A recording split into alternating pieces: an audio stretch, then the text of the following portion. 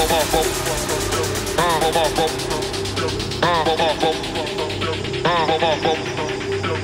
don't know things you do.